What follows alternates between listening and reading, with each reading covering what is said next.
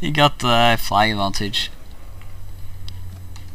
I think Germany should probably, if they don't want to, if, if Germany doesn't, what the hell, Polish drivers.